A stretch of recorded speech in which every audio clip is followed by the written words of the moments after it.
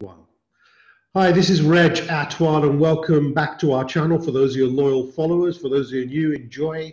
If you haven't been there before, we've got many show series, and today's all about family business legacies. And today we have a second generation business that we're going to do a deep dive into. And my guest today that I'll be introducing to you formally now is Mr. Sameer Gupta. He's the chairman and managing director of Jakson Group which is one of India's leading distribution energy, solar, and EPC solutions companies. In fact, probably number one right now across India. I'll share a few facts later. Sameer is a second generation entrepreneur. Business was founded by his father. He also works alongside his brother, which we'll talk about later as well. The business was established in 1947, 73 years old, I believe, with four manufacturing facilities now, three independent solar power plants, 40 sales offices, grown from India to Bangladesh to Nepal, Singapore, UAE, and across Africa continent, and employs now 2,200 people with five core business units serving 45,000 customers with 52 channel partners. I'll, I'll share more facts later. Sameer is very active with his learning. He's also been a past chairman of the Confederation of Indian Industry, CII, I believe, in the northern region. And he's also an alumni member of the Harvard Business School. So, on that note, let's find out more about Jakson Group and this second generation family business. Please welcome to our show Sameer Gupta. Welcome. Thank you, Athwal. Thank you for such a generous introduction. A pleasure to have connected and happy to interact with you today. I really appreciate. Well, I don't hang around with my questions, uh, Sameer. I'm going to go straight in. What's it like being a second generation member working with your father? We hear a lot of case studies around the world with family businesses where people struggle, you know, next generation struggle working with their parents. Um, so tell us what, what's worked, what hasn't worked, what have been some of the learnings or challenges on this journey until you've taken that baton on and now become the chairman and MD? So uh, it has been a very interesting journey, as a matter of fact. Uh, uh, fortunately, the way my father thinks is pretty different. Mm-hmm. Uh, and he gave us uh, literally all the liberty to do whatever we wanted to, uh, you know, right since the beginning. I joined this business in 1990 after graduating. I did my B in electronics my brother joined after two years mm-hmm. and uh, you know thereafter um, uh, we were deeply involved we were both both of us were deeply into technology we used to love traveling mm-hmm. uh, with a purpose with the objective of learning what's happening around the world and uh, you know i remember way back in 1995 uh, i guess uh, we did a homegrown erp which we used for good 10 years before we migrated to sap so that was the kind of you mm-hmm. know deep commitment to technology both uh, my brother and i had mm. uh, and uh, somewhere somewhere in uh, year 2000 my father almost passed on the baton to us mm-hmm. he's still involved with the engineering college no longer with the business though right. and it was i think he realized pretty early that yes um, you know it's it's good for the next generation to take over um, and uh, he didn't he didn't uh, question or look into any of our decisions thereafter ever since 2000 he did mm-hmm. he must have noticed uh, the huge commitment uh, we both had towards the business uh, and you know uh, very early on there were quite a few learnings from him by the way mm-hmm. i remember after graduating when i came to back home to delhi he, the first thing what he told was you know, uh, never be slave to money. And, uh, you know, money got to be byproduct of right work and hard work. Right. That's something, those words are kind That's of. That's good. I like that. That's a good principle. What other principles do you think he gave to you from a young age? Because sometimes the impact that parents have on us for a family business to continue from one generation to the next, a lot of the seeds are planted the first 14 years of our life. So, what other things did you observe or mimic or see uh, your father do that had an impact on you? Uh, so that's what you know uh, in first couple of years i would say this was one of the things which got embedded. Uh, then uh, one of the things he always used to say customer is king and honor all commitments what you land up making to, to the customer be it verbal or in writing that's a material. Commitment is a commitment. And uh, there was an interesting lesson i learned by the way. After just two years of my experience working with my dad immediately after graduating i was working with my father. I didn't get a chance to you know formally work for some other company or get internship done somewhere else. Mm-hmm. And uh, during during these two years, uh, I remember after two years of working with him, I quoted for a project. It was not a big project then; it was just uh, you know small value in, in current context, not even ten thousand or yeah. fifteen thousand dollars worth of a contract. And uh, when I quoted the contract or the order or the LOI came in writing, you know, mm-hmm. uh, without me following up or even visiting customer. Mm-hmm. And we had given maybe about uh, 100 US dollars equivalent as a earnest money deposit, mm-hmm. which means that if we don't honor the contract, that earnest money deposit would have got forfeited. Right. And when this purchase order came, uh, my father had a look at the value of the purchase order. He realized I've done some blunder in the mm-hmm. calculations and uh, when he called for the file, I also quickly realized that, you know, it, was a calculation mistake and we were into loss. So the very first order what I quoted was turning out be a loss making order. And my father asked me, I categorically remember, Sameer, what should we be doing with this? So I said, uh, it's simple, you know, instead of losing uh, 3,000, 4,000 odd dollars, let's lose $100, uh, which is a much lesser stake. Uh, he absolutely refused to, you know, accept that he made me execute that order. And uh, from that day on uh, our organization is so customer centric that we go uh, we walk as many miles as we can to exceed customers expectations. So the one thing he has taught is customer is king. Um, and the third thing also he taught Athwal, by the way, that was respond to every communication. Uh, those days that used, used to be letters and telexes only uh, also came uh, i think well he, he definitely gave you some really good principles i think that that have stayed with you. Can i ask you outside of the principles th- those are good learnings. But as you know with your vast experience across india south asia i mean we work obviously across the world and we've seen with family businesses where that communication or that unity that that that connectivity is not there sometimes with with parents and the next generation. I know you haven't been through that but what what what uh, uh, tips could you give based on the good things that you've been through for other families? How do you ensure that you get that relationship right between first and second generation? So I was partly coming to that actually. Great. So when he saw that these learnings, what he kind of inculcated in both of us, and we were implementing in day-to-day life, and he probably, probably, you know, mm-hmm. saw us implementing those for good eight years. He gave the baton to us, and the key was the strong bond what me and my brother had always mm. which we continue to have even till date uh, which is foundation of our current business which is going to be foundation for uh, next generation as well i think i think communication is the key right mm. uh, and i would i would say a few things there uh, from mm. family standpoint uh, you know uh, one is you should have spirit of sacrificing it should be other person first rather than uh, you trying to keep yourself at the front. Mm-hmm. Uh, if you do that with a spirit of forgiveness, if that's there in your attitude, I don't think any could anything could ever go wrong between between the family members. And secondly is communication. Often what happens Athwal is that we tend to keep uh, things close to our chest, close to our heart, and keep, mm-hmm. those heartburns are generally there for for years uh, together, and that generally erupts someday and it results in separation and all that stuff what we see in uh, most of the business families unfortunately.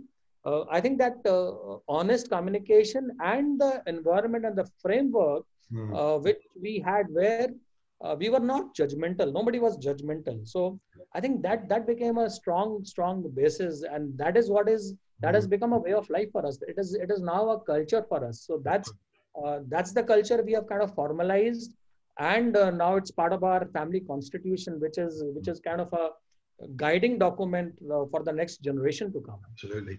Why is it difficult? We you know we talk about communication. We know it's important but why do some family members with each other have difficulty in communicating with each other?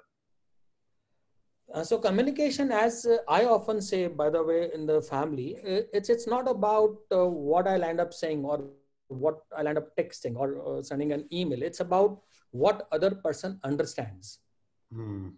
If if you you can communicate by body language also without speaking anything. You're in a room and if you you have a swollen up face, you are communicating communicating a lot, right? So it's it's all about what other person understands. And if you are not judgmental to any of the emotions of the other person at that point of time, uh, I think uh, you know uh, battle is kind of won, and that's to mind uh, to my mind communication, uh, frank, honest, transparent communication without uh, judging, giving mm-hmm. honest feedback, being open to honest feedback. Mm-hmm. As we often say, even within the company, by the way, that feedback is a gift. only your well wishers can give you, you know, true feedback. not, not you've got to you've got to have some ground ground rules to make that happen. Yeah, um, and that's where I suppose the the family constitution code of conduct, like we've we've done probably about 128 of those now around the world. But you know, for those people listening right now who don't understand what that is, it doesn't always have to be a thick, you know, the thickest document in the world. But even if it's a few pages to start off with, with some basic ground rules, you know, what are your values? What are your guiding principles? Would you agree? Because that starts the communication. If you don't have the bedrock of some basic ground rules, then you're also, people are left with how do I seek to understand? How do I openly share what I want to share with my brother or my sister or my father? Uh, so uh, there are no written set of ground rules, but I guess yes, uh, we do often talk about values in our family constitution meetings, which we have once in a quarter religiously. Mm-hmm. Um, integrity being one of those. And when we say integrity it's in the context of do what you say. We are trying to keep it very simple. All we are saying is do what you say period nothing else. Uh, secondly is about care. And care uh, comes uh, in context of i would say not only empathy but uh, psychological safety. Uh, so that's also if, if the family member could be a child could be a brother sister parents whosoever if they feel psychologically safe that you know uh, they can open out they can talk whatever they want they mm-hmm. won't be judged. Uh, the other person is not going to jump to any conclusion. The other person is going to put himself or herself in your shoes and try to wear your hat and then think accordingly. Um, I, I, think uh, nothing can go wrong. It's it's a it's it's uh, also about you know frequent communication. It's not that you'll end up communicating only when you have an issue uh, good times, bad times. It got to be a way of life. Since years, uh, me and my brother have been staying together, uh, literally together um, in the near vicinity. And we make it a point since uh, I don't know how many years uh, having. I mean, I mean, thirty percent of family businesses. I mean, you're in the thirty percent club. You know that get to second generation. Obviously, the numbers deep go go go down after this to twelve to whatever fifteen percent, and obviously the three percent club fourth fourth generation, hundred plus year legacy. I mean, it gets more complex, doesn't it? If you by the time you take the next generation now, third generation, the dynamics there, uh, the wealth that you've created as the second generation to support that generation has also changed. Um, what are your thoughts on how do you get that right? With more members at third generation, more spouses will come in, um, male and female, and they will bring their values to the table, their opinions. There's a whole bunch of stuff there to consider for the next gen. What do you think? Uh, that's very interesting point you have made as well. And I'll, I'll uh, bring in a couple of thoughts around this uh, uh point what you have made. Uh, one is when family members get added, be it spouses or whosoever, uh, it's very important to put conflict on the table and keep on aligning and it is it is not a destination. It's not about one conflict. Uh, fact remains we all have issues. Fact remains we all have conflicts. Fact remains we will always have difference of opinion. All fingers cannot be the same. But mm-hmm. thumb has a role to play and so has the little finger. Mm-hmm. so we got to be seeing in a family that what is the value add or the contribution that person is making rather than trying to get into us you know pardon my word stupid comparison of uh, i am better or he is better or she is right. better once you start looking at what other person is contributing to your success uh, to your family and keeping relationship uh, as the key driver uh, then of course you'll end up taking the right steps. For example uh, i would say in our case very very clearly we say that um, what is good for business mm-hmm. is good for family. It's not the other way around. This is one philosophy we strongly follow.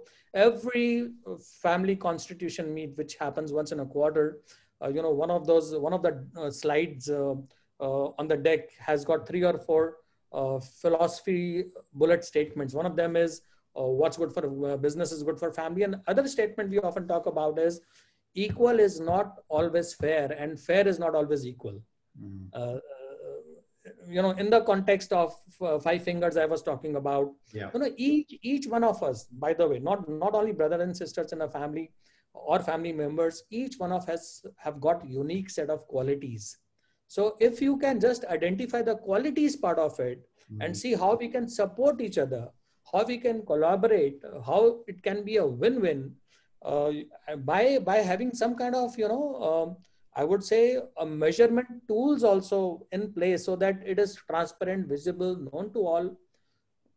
I think many generations can work to work together. Why only third? Why only fourth? And by the way, I, I strongly opine uh, and sincerely opine that uh, in second in second generation of business, you'll end up creating a lot of value. Mm-hmm. And 93% of the business families all across the world, which you might be also having the data, I'm sure, do land up separating out when third or fourth or fourth generation comes in. Imagine the value we land up destroying by actually separating out the good work done by uh, parents and your forefathers, etc., uh, goes down the drain. So once once this concept of uh, protecting wealth for benefit of families, benefit of communities, benefit of nations, benefit of generations to come, if that gets clearer in next generation, I think today's generation is educated enough. They, they have concern for society, they have concern for environment, uh, they believe in principles of sustainability. They would work for the cause. But the key is that you got to often talk about it. You know, uh, we, we shouldn't expect key, it's going to happen automatically. We, we need to keep talking. We need to keep reminding. Can I ask you, Sameer, you mentioned something very interesting earlier about what's good for the business is good for the family. Um, again, there's no right or wrong way. I think everyone's got their own philosophy as a family and their own DNA way of operating. But I have seen enough evidence where third, fourth, and, and one case study in particular with a 12th generation family business, where there had to there was a shift after the fourth generation, where they were essentially a business family, but wanted to shift to them becoming a family business. And what that really meant in their eyes was around the dinner table, every social gathering, everything was about business. It was all about business first, family second. And they realized as the, as the family became bigger, that the, the shift had to happen to put family first and business second. Now, that doesn't mean that we disregard the business. There's a balance there. Growth has to be there, liquidity for the future, reserve funds, manage the welfare for the family but they had they had a huge shift to be successful to focus more on the family. So sometimes people say, yeah, you know, we we we, we spend a lot of time with family, but essentially the time they spend is just talking about the business around the dinner table. Um, what are your opinions around some of the things I've said? Uh, so uh, my opinion and partly I would say experience also, Athwal I would say treat business like a family and family like a business. Mm-hmm. Uh, and there got to be all elements into it. You, you know, you should not, I, I won't say you can't, you should not be only talking business as and when you meet. There got to be a lot of commitment of time where you actually bond, you crack jokes, you laugh it out. Uh, again, the key is you, so to my mind, why it happens, uh, the mm-hmm. point what you made. Uh, as and when communication is limited only for sake of business while business might come first and if success of business would keep families together which is which is the end result that's that's not the uh, that's not the path that's the uh, end goal right but at the same time if we are only communicating for reasons of uh, business then uh, we are actually not uh, sharing we are actually not caring we are actually not bonding mm. and unless and until you bond at deeper level um, and you know understand other person's mindset other other person's pain uh, yeah. other person's uh, happiness right. uh, other person's uh, you know successes failures because yeah, everyone's got their own personal needs haven't they everyone's got different needs as a family member exactly exactly so that's that's not uh, to, to, my mind that's not caring and i said care is a very important uh, value what what we you know focus on so that that got to be pretty much there for keeping generations and generations to uh, be together. So one of the things what we have done is uh, very interesting, uh, by the way. Of course, there has been learnings. I've been reading a lot of books around family constitution, meeting a lot of good old families where fourth, fifth, sixth generation also in this country have been working together. uh, we have uh, not only this family constitution, what we have done, Athwal, is that uh, all our businesses, uh, they are owned by trust. Yes. So none of us are owning any shares mm. in any business. So that's a journey still. It's kind of work mm-hmm. in progress, but uh, the thought process is pretty clear. There's pros, and, there's uh, pros and cons there, isn't there, as well, of having a trust? Pros and cons, yes. everything in life will have pros and cons, yeah. including work from home um, but the point is, uh, the culture what we have tried to create mm. is that we are custodians of wealth. Mm. Uh, which, which you know, uh, when you start thinking that I am a owner, at time it drives a wrong behavior. Vis-a-vis when you think you are a custodian of wealth, which yes. is to be used for a larger cause, then you start looking at life slightly differently.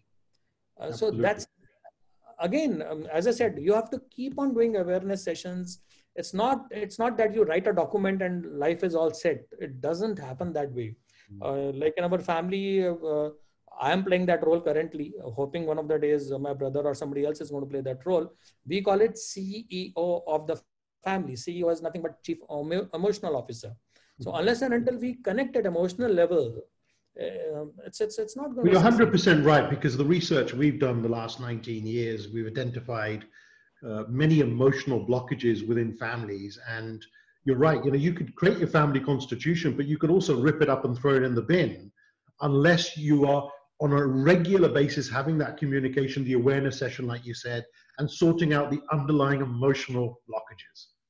Because they're bound to come up. There's always new ones going to come up every year. Uh, and we have to deal with them faster, not put it under the carpet or out of respect in our cultures because we can't speak up and talk about how we're feeling, we then up, end up internalizing it. And eventually that will blow up at some stage. There'll be a volcanic eruption at some point. Exactly. So I'm glad. I like I like your uh, acronym of, of, of CEO. I think that's good. We I've spent a lot of time I know speaking uh, speaking about family. I've got a couple of other questions, and maybe we could shift to the business side. I'm sure some of our viewers want to know more about business growth and some of the great things that Jakson Group's doing. But what's your thoughts culturally in India with daughters coming into the business or spouses allowed to work in the business? What's your thoughts around some of these things, which are historically a, a no-go area? Uh, so in our case, I'm, I'm sharing my example. Yeah. Uh, I have two sisters. Uh, they chose to be not to be part of the family business. Uh, now my two sons are married. My brother also has got two sons. Incidentally, uh, none of us have got daughters but the daughter-in-laws already are part of the company. Oh wow, excellent. And in the constitution document, what, what we have written down, we are pretty clear that in next generation, uh, we are going to treat uh, uh, both, you know, daughters, daughter-in-laws, son-in-laws, everybody kind of alike. So that uh, at least, you know, from... Yay, well done. It's, a, it's about time we see more of that, in, in, especially in India, from what I've gathered over the last few decades we need a shift there. I like, I like the idea of having that equality within your constitution because these days, uh, a lot of the female bloodline descendants and spouses, in this case, like you mentioned, they have they have fire in their belly. They have some great contribution they can give to the family business, and it gives them a sense of belonging as well. Not only sense of belongingness, uh, the little experience. Since my sons got married pretty recently, what I've witnessed is this very principle of equality uh, that also you know build up the bond big time very good which leads to eventually success of the family yeah i like it. So again i could ask i could spend another five hours asking you questions on the family piece but let's talk about the business side. Um, you know, from your father building the business and then handing over to the next gen you and your brother when was the turning point on the business side that allowed you to build such a massive conglomerate now with so many business units, you know, dealing with thousands of employees and tens of thousands of customers, channel partners, expanded globally. I've seen some of the, the pictures of the solar plants. I mean, phenomenal, you know, huge projects. When was the turning point of, of that uh, growth? So uh, as I said, my brother and me, we joined in a time frame of a couple of years in 1989 and 91 respectively. Uh, we were a single business company then. Uh, for good eight years, we were trying to do all crazy things in terms of within our own limited manner, trying to do whatever innovation we could do mm-hmm. into our businesses in terms of processes, if not on products. And then in 19, uh, sorry, in 2000, uh, our father he didn't retire, retire. He was pretty much active on the board, uh, but day to day he was not involved. Since last 15, 18 years, he has not even signed the balance sheet.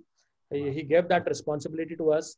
Uh, we were just about in 2000, uh, yeah, year 2000, we were just about 10 million US dollar company. Hmm. Uh, today we are close to about uh, 350 million plus. Yes. Uh, and uh, you know, touchwood, a that confidence on each other between the two brothers did play a role. It played a big role for us to grow. Um, and you know, I remember again uh, one of the olden days, I did ask my father, what is the basis of taking a decision in the company? And we both were sitting, we were having dinner together. And what he said was, there is only one basis that is that decision going to benefit company or not?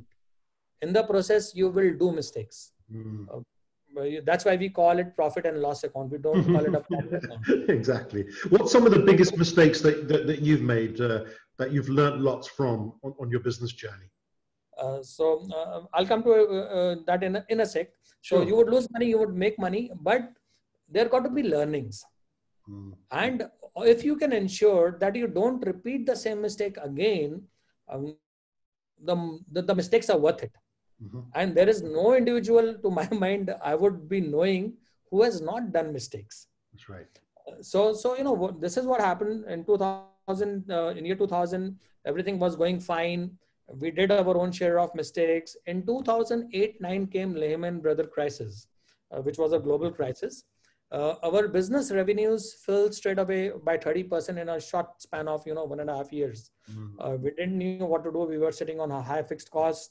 Uh, you know, we started uh, partly losing money mm-hmm. for a short while though. That is the time that was the learning again you know that, that was the time we decided that we will not put all the eggs in one basket yes. uh, we kind of had one of the big fours without naming the big fours uh, and did a strategy session for two years it ran for good two years to identify what core competency of the company was and then we figured out that yes we would get into solar and epc simultaneously uh, mm-hmm. this was a decision we took back in 2012 right. Uh, where our revenues were just uh, what uh, close to maybe 100 million US or 120 million US in 2010.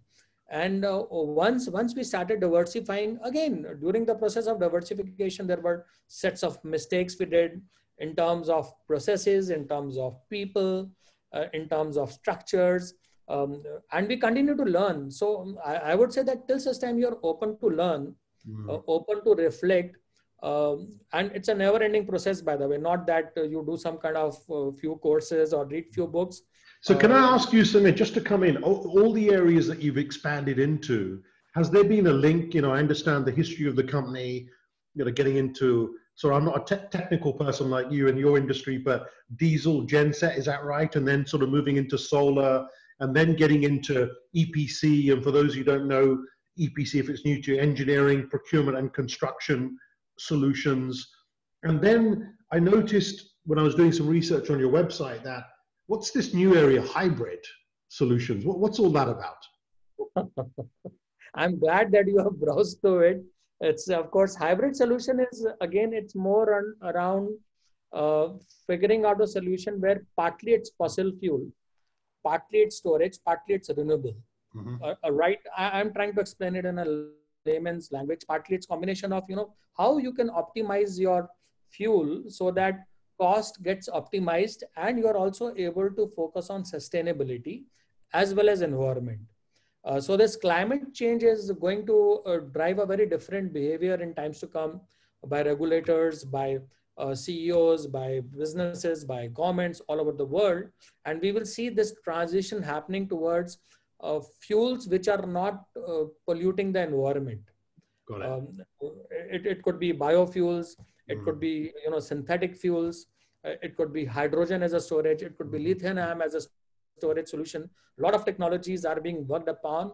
Uh, mm. so hybrid is is is the broader term used to uh, used to kind of uh, define what kind of technology you want to use in what proportion to solve energy problem of the other uh, person. So that's that's what it's all about. You, have you've come a long way, haven't you, from that diesel type business $10 million business to now $350 million business. So what, what are the lessons there for people listening right now where sometimes, you know, they're stuck to their core business for 20, 30, 40 years and they're not embracing change. They're not embracing innovation. I see this time and time again with family businesses who are stuck and they're not prepared to take that risk and step forward with both feet and go, right, let's do this.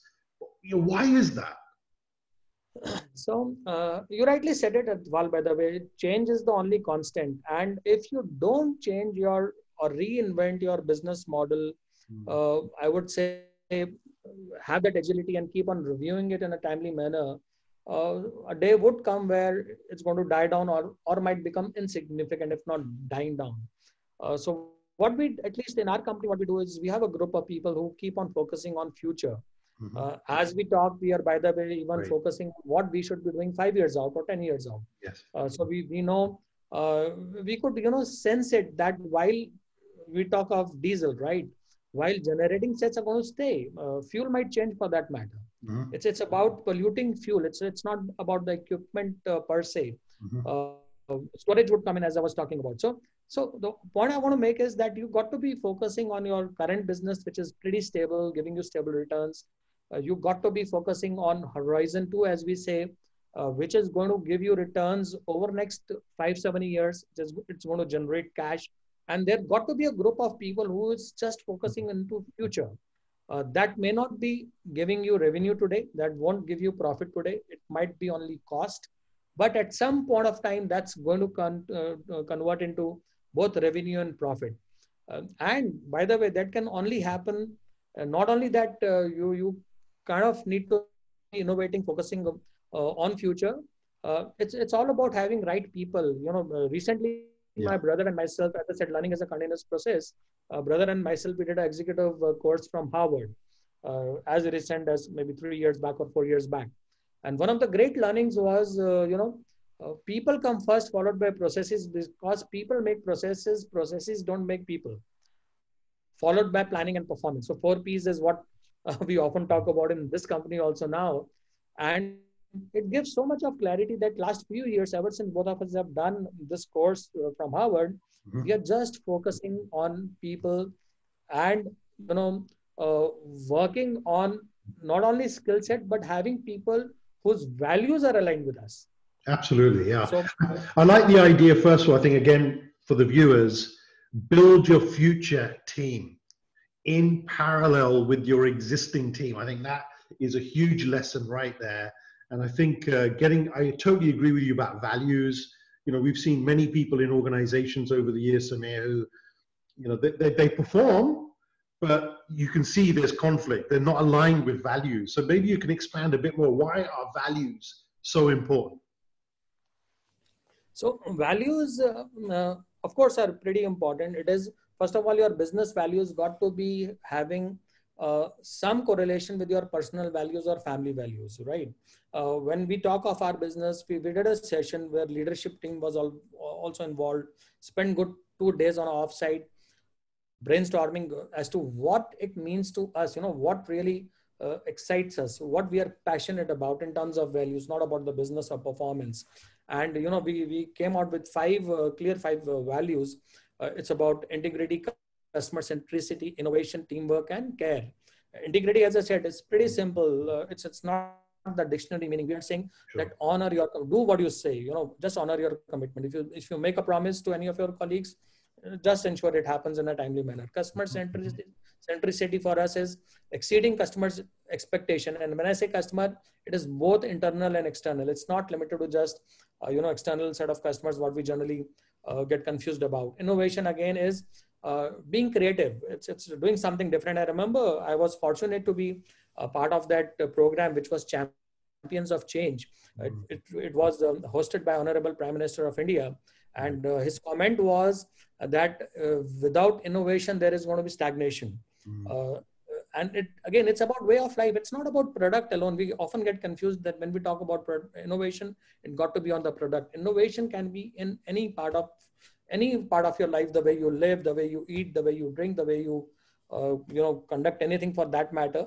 And teamwork again is the next value which is very important to us. Teamwork for us is hmm. uh, at least to me i always think that how can i contribute to you know success of the other person? To me that is teamwork uh, and that that eventually uh, results into a whole uh, lot of collaboration. And finally it's uh, care. Care is, is very close to our hearts. We really mean it. It's, it's beyond empathy. It's about these are the values that you integrate with with the key team. Yeah can i ask you sameer maybe you know, I know you've got a very, very successful business, you know, one of the leading companies in India and expanding globally. But with this year right now, 2020, with the pandemic situation and COVID 19, there are many small to medium sized enterprises as family businesses that are suffering right now, bleeding. Some of them won't make it this year, unfortunately, um, which is very sad. So, anyone who's listening right now, it doesn't matter what size their business is, but is really suffering with the pandemic situation, what what tips would you give them if you were in there right now with them and looking at their business? What could be one, two, three, four things that they should consider doing to at least make sure that that family business has a chance to see 2021? I think the single biggest tip uh, I would give from business standpoint, I'm not uh, talking of other tips, is to conserve resources. Mm-hmm. And resources is not only about you know finances; it's about human resources. You would be having good assets, uh, good people in the company. Uh, secondly, is uh, uh you know again, uh, I will say collaborate by communication. Uh, empathize with your people, understand their personal issues. We are all going through emotional wreck most of us in hmm. uh, covid days due to different reasons reasons could be very different for a small business reasons could be a different for employee it could be different for a large business uh, it could be a different reason altogether but we are all going through emotional wreck, yes. uh, and uh, unless and until we have a you know uh, we channelize this energy and we share uh, we we won't be able to come out of this bondage so um, all i'm trying to say is that it's it's all about connecting with people, be it a small industry or a large industry, uh, and sharing of the emotions uh, that can certainly uh, solve the purpose uh, to, to, my mind. Conserving all the resources, focusing on health. That is obviously the first priority currently. Uh, this is the time one can actually reflect, uh, reflect back into his whatever number of years, see how he can take forward his learnings for future. Mm-hmm. that's exactly what we did uh, I think one has realized in last three, four months or six months uh, that life is not only about what you are doing today; it's about the higher cause. Uh, you have to, you know, think beyond yourself, beyond your family. You have to think about society. You have to think about nation. Mm-hmm. Um, I have spent a lot of time reading in last uh, six months, uh, particularly spirituality. Prior to that, I was focusing more on uh, mm-hmm. leadership and you know business related books and uh, something which uh, in my head is pretty clear after reading a lot on spirituality in last six months is you know uh, keep your desires in control and if you're able to do that uh, you will have enhanced uh, pleasure happiness satisfaction you know one of one of the equations very interesting athwal uh, one of the books what i was reading it said man minus desires is equal is equal to god. We can't be god but we can definitely minimize our desires and keep them in a band uh, so that uh, we are you know not uh, endlessly running after pleasures or so-called perceived happiness by running after objects or persons. So this has been a learning kind of a learning over last six months. So yeah. i think I, I appreciate that. Yeah, yeah, appreciate that. There's some good. There's some good points you've made there. Appreciate that. And whoever's watching, you know, watch the video again, watch the episode again, and maybe take on board some of Sameer's uh, uh, comments there. Uh, let's go into the future for a second for Jakson Group, for you personally, your family, uh, projecting out to December 31st, 2030. 2030. Okay. 10 years in the future. And for those of you watching in 2020, and hopefully there's people watching this right now in 2030. Thank you. And we'll see whether this ha- has happened or not. So talk us through, you know, we're together December 31st, 2030. I'm congratulating you saying well done to the Gupta family, fantastic job, Jakson Group. But what's happened looking back? Mm, thank you, Athwal. I'm already excited to hear this from you, first of all. so, uh, at least in my head, uh, I I have already kind of, along with my brother, uh, taken responsibility of creating an institution of this out of this family-owned business, and even trying to create an institution for the family as well. Uh, so that it remains till eternity, knowingly well that I'm, I'm, going to be around for a limited number of years, mm-hmm. and so are going to be most of us. But this company, this brand, what has been created with a lot of hard work of so many odd years, should survive till eternity. So that's that's the whole objective. So in terms of our strategy, uh, as I said, we, uh, as you were also mentioning in the beginning, we have currently five businesses. Potential is huge. Uh, we are, in, as we talk, uh, despite COVID, we will be land, launching some new products in the month of October, uh, mm-hmm. which are related to, by the way, hybrid, what you were talking about. We call it as energy storage solution. That's what we intend to launch within, within a month. That's great. that futuristic products. Uh, we are talking about also, as I said, uh, what could be the possible storage solution which will contribute to, you know, self-reliant India uh, because we don't have enough uh, deposits of lithium ion either. We will still remain dependent. So those are some of the technologies we are talking about. Currently, we, we are having revenues of almost about, as I said, close to 400, between 350 to 400 million US dollars.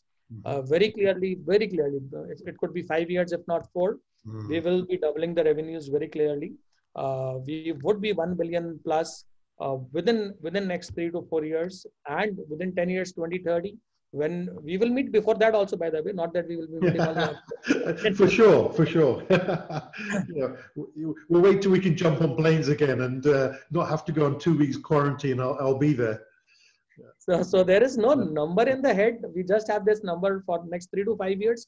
But whole objective is to create a sustainable organization which will live for times to come it's not only about the top line it's about by focusing on values focusing on sustainability mm. how we can continue to grow profitably so that we can effectively contribute to uh, you know all the stakeholders which includes yeah. family includes employees includes again society vendors financiers so on and so forth so so whole objective is to work towards creating yeah it, sound, it sounds exciting there's a lot to do there and uh, wish you all the best in making that happen can i ask you on a personal level you know whether it's $400 million, a billion dollars, or some families I've worked with at five, six billion dollars. Uh, it's all numbers. You get to some point, it's all numbers, okay? And when it comes to wealth creation for the family, um, once you've got your bucket list, as they call it, or your goal list of the things that you want to do or have, you don't really need a lot of money after you get to a certain point. I mean, you're only going to be in, you can only ever be in one yacht at a time or being one home at a time. And some people are driven by, you know, they're going to be on the front cover of Forbes or Fortune and be in the, the top 100 billionaire rich list. While there's others around the world that are now driven by, okay, you know, we're going to keep growing, keep, be, keep being profitable, keep innovating, but we're driven by something else, whether it's social impact or, or pledging our wealth uh, into a foundation and doing good around the world. What are your thoughts around that wealth situation when you do become a billion dollar plus organization and your children and your grandchildren are going to be part of that? What happens with wealth? Uh, so, two clear things, um, uh, at least both brother and you are very clear on this. Uh, this wealth and yachts and uh, planes don't excite us at all, by the way. Uh, we are very simple people, uh, very simple living, though very high thinking, very aspirational also. We have of course a lot of dreams. Uh, but it is not that those dreams will make us uh, drive or take wrong direction. So we want to slow and steady wins the race is the uh, fundamental we believe in. Um, i think uh, in my head you know csr philanthropy is way of life. We will keep doing it to best of our ability. Whether it you may call it csr you may call it empathy you may call it care whatever word we may give to it in our own base we will keep on doing it. But to my mind it's uh, at least in my lifetime Athwal, um, i would define my success as keeping my family together and continue to have that bonding uh, with all in, within my family including next genera- generation and the previous one if i'm able to achieve that effectively i think uh, i'm i'm going to be pretty happy in my life Nice answer. You didn't really answer my question, but you did. Okay, but but I like it. I like it. It's good because you're you're absolutely right. If any of you get a chance, go to the description area. All the details are there for Jack Jakson Group. Go and check out the company. find out more about what Sameer and his brother are doing right now. And, you're absolutely right, Sameer. There's a lot of good things you've already done, whether it's called social impact or CSR. It's already part of your culture at Jakson Group. So, you know, congratulations. It's not like you're aspiring to get there. You're already doing it, and you'll probably just end up doing more of it uh, as you create that wealth. One last question, just just as we start to wrap up. Everyone goes on their own journey in life, and you get to a point in life where there's things that you know that you don't know, and there's things that you know that you know. Okay. What are those one or two things that you absolutely know that you know based on business and growing a business and getting it right? What last piece piece of wisdom can you share with us and the viewers so there's a bit of take home value from this episode? What are the things that you know that you know based on your business journey? So that's a very interesting question. Um, uh, I would say uh, be very clear on your objective. If, if you are very clear on your objective, uh, just uh, have that passion to uh, keep on pursuing it for a cause. It can't be for self gain. If it is for self gain, that means you lack clarity on your objective. So if that objective is clear, generally, most of the times, um, while there could be hurdles in the journey, uh, but you know uh, outcome is going to be good to my mind uh, again that's that's sharing of an experience business again business and money is all a byproduct uh, Athwal, as i keep saying. Um, and what i don't know i think uh, i don't know nothing in the sense uh, there is so much to learn. It's crazy. Yeah. the more you hear the more you read. These days one hour in the morning every day religiously with thanks to covid uh, I, I listen to spiritual discourses. And with every discourse you land up uh, land up uh, picking something new which uh, which kind of you know hits you strikes you. Uh, so i don't think uh, in this lifetime at least i will be able to say i can't comment about nobody else. I don't think i will be able to say that yes i know everything.